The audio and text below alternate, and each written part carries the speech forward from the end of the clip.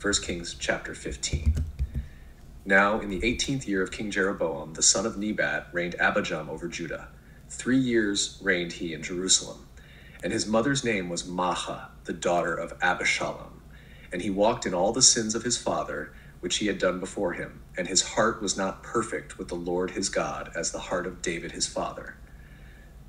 Nevertheless, for David's sake did the Lord his God give him a lamp in Jerusalem, to set up his son after him and to establish Jerusalem because David did that which was right in the eyes of the Lord, and turned not aside from anything that he commanded him all the days of his life, save only in the matter of Uriah the Hittite.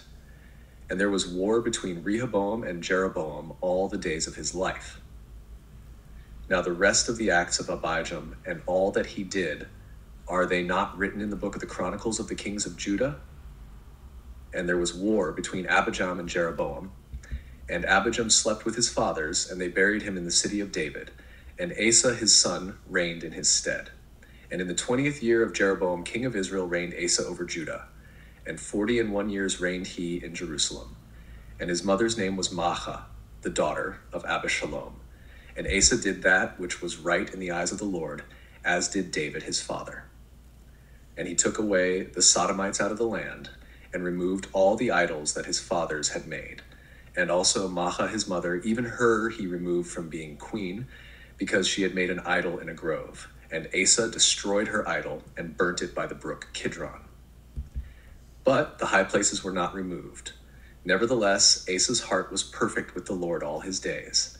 And he brought in the things which his father had dedicated, and the things which himself had dedicated, into the house of the Lord silver and gold and vessels and there was war between Asa and Baasha, king of Israel, all their days. And Baasha, king of Israel, went up against Judah and built Ramah, that he might not suffer any to go out or come in to Asa, king of Judah. Then Asa took all the silver and the gold that were left in the treasures of the house of the Lord, and the treasures of the king's house, and delivered them into the hand of his servants. And King Asa sent them to Benhadad, the son of Tabrimon the son of Hezion, king of Syria, that dwelt at Damascus, saying, There is a league between me and thee, and between my father and thy father. Behold, I have sent unto thee a present of silver and gold. Come and break thy league with Baasha, king of Israel, that he may depart from me. So Benhadad hearkened unto King Asa, and sent the captains of the hosts which he had against the cities of Israel, and smote Ijon and Dan, and Abel Beth Maachah, and all Cinneroth, with all the land of Naphtali. And it came to pass when Baasha heard thereof that he left off building of Ramah and dwelt in Tirzah. Then King Asa made a proclamation throughout all Judah, none was exempted. And they took away the stones of Ramah and the timber thereof, wherewith Baasha had builded. And King Asa built with them Geba of Benjamin and Mizpah. The rest of all the acts of Asa, and all his might, and all that he did, and the cities which he built, are they not written in the book of the Chronicles of the kings of Judah? Nevertheless, in the time of his old age, he was diseased in his feet. And Asa slept with his fathers, and was buried with his fathers in the city of David his father. And Jehoshaphat his son reigned in his stead.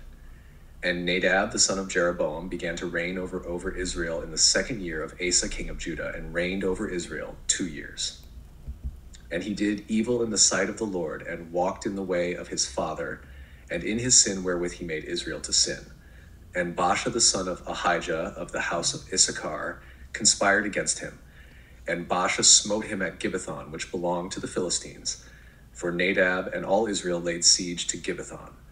Even in the third year of Asa, king of, of Judah, did Baasha slay him and reigned in his stead. And it came to pass when he reigned that he smote all the house of Jeroboam.